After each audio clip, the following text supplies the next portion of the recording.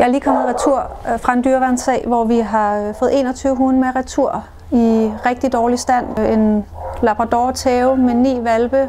Moren hun er forfærdelig underernæret. En chihuahua tæve med tre valpe. Så har vi dem her, øh, som også er alt, alt for tynde. Det er hverken vand eller mad, så det første vi gjorde, det var at give dem vand og mad, og de var så sultne og de var så tørstige, at øh, det var jo både en glæde at se, at de fik det, øh, og trist at tænke, at, øh, at det er de ikke vant til at få regelmæssigt. Vi gør alt, hvad vi kan for at få de her hunde på ret køl så hurtigt som muligt, og vi er glade for al den hjælp, vi kan få.